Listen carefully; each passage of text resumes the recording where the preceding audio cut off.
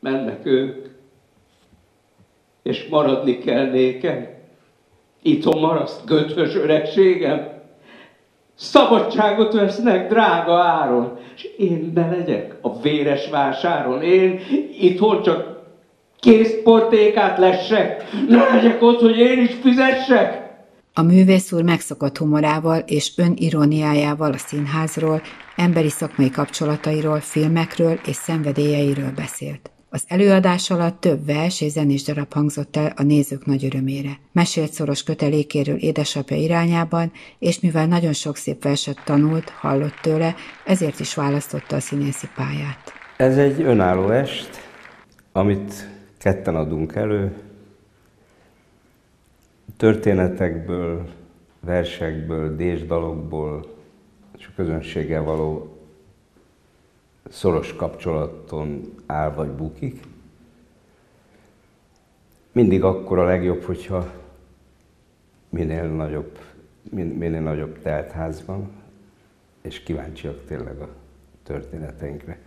Néha olyanok is születnek, ami meglepő, még nekünk is, mert, még nem, mert tele van improvizációval. És versekkel. Nekem az egész pályafutásom a versekből indult el. Édesapám sportvezető létére, tehát foci vezető volt, de a verseknek a nem csak barátja, hanem avatott előadója. Csodálatosan mondott verset. És nekem a gyerekkorom abban telt, hogy mindig a versek, a versek, a Petőfi, a Arany János, ismert magyar költők versei.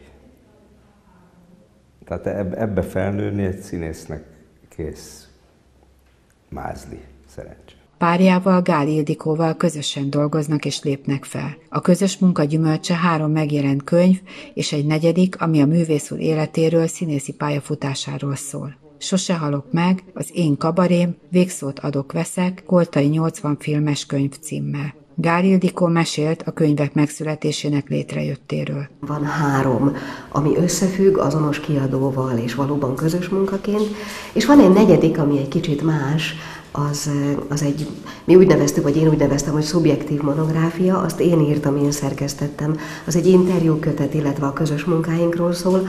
Abban a Robi igazából nem vett részt olyan értelemben, annyira nem, hogy ott sem volt, amikor az interjú készültek, hiszen róla beszéltek sokan, és lehet, hogy az célszerűbb volt, hogyha ő nincs ott, mert nyilván másképp beszélnek róla, ha ott van, mint ha nincs.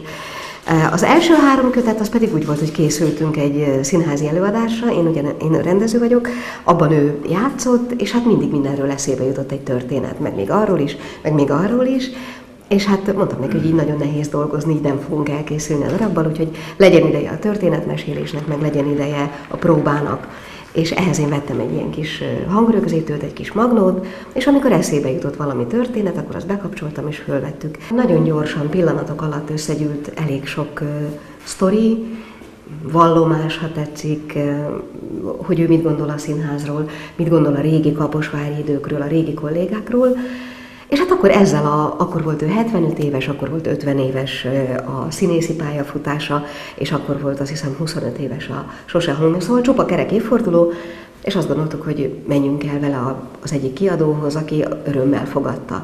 Sőt, annyira örömmel fogadta, hogy ott megjelent ez az első könyv, nagyon, hát nem akarok dicsekedni, de tényleg nagyon nagy példányszámban, és viszonylag gyorsan elfogyott, Annyira, hogy jöttek ilyen SMS-ek, hogy művész úr egy éjszakás kalandon volt önnel, meg ilyesmi, mert hogy nyilván egyetlen éjszaka alatt elolvasta. Szóval tényleg sikeres volt, és ettől a kiadó úgy gondolta, hogy, hogy folytatódjon. Ha van még történet, akkor folytatódjon bátran. És hát így jött létre a másik kettő, e, ez a három függ, tehát ilyen formán össze, és aztán született ez a negyedik, ami kifejezetten a filmrendezői, filmszínészi munkásságát dolgozza fel.